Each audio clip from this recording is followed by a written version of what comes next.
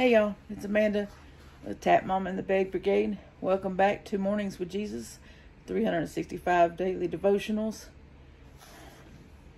First, we start with our Bible verse, and then we'll read our inspirational story. God, God also has highly exalted him and given him the name which is above every name.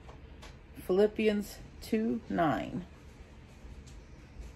You, my brothers and sisters, were called to be free, but do not use your freedom to indulge the flesh, rather serve one another humbly in love.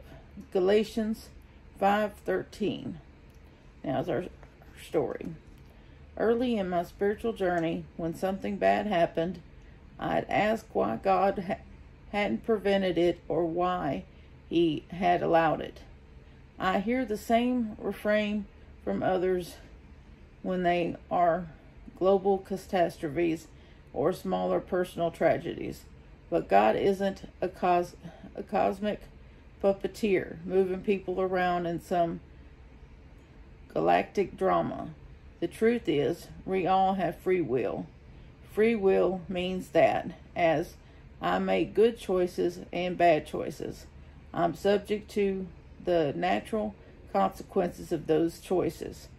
The earth in which we live is no longer the paradise God designed.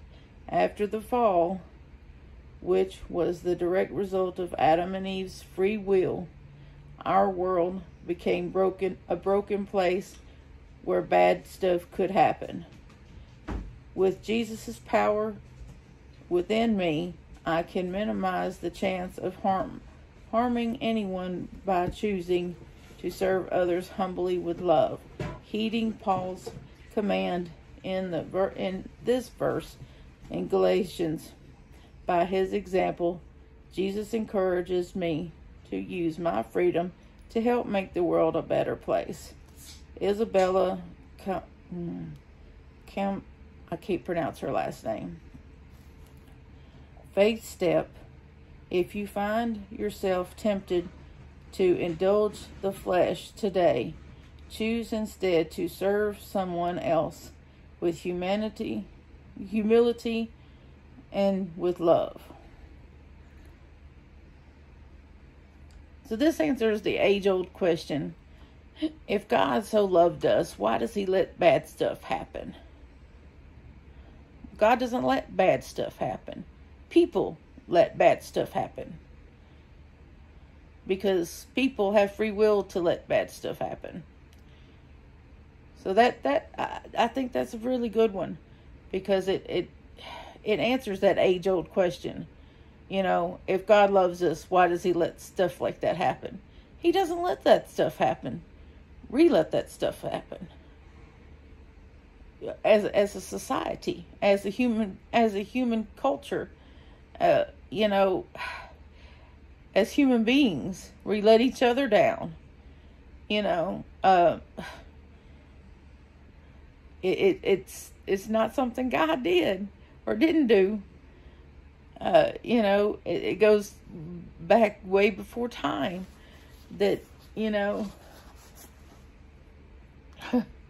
that that's that answers a lot of questions. I think is to why God doesn't prevent things or why he, you know, there are too many moving parts to catastrophes. There are too many moving parts. And you can't, and he gave us free will. So when you give every living thing free will, you can't expect anyone I don't know. This that that that's that's a lot of lot of things to think about at one time. A lot lots of thought that evokes a lot of thought in my mind. It it makes me think too much. but it ans it answers the question, but then it brings up so many more questions. So, you know, it just what do y'all think about that? You know, does that answer any question that y'all ever had or that y'all have been asked, you know, You know, why does God let that happen? God doesn't let that happen. People make that happen. So, free will makes that happen. So, that that makes sense. But at the same time, there's so many other questions that pop up because of that, because of why that makes sense. So, I don't know. What do y'all think? Let me know in the comments what y'all think about that one. Anyway, I guess I'll uh, see y'all later. Uh, thank, thank you so much for watching, and I'll see you in the next video. Bye now.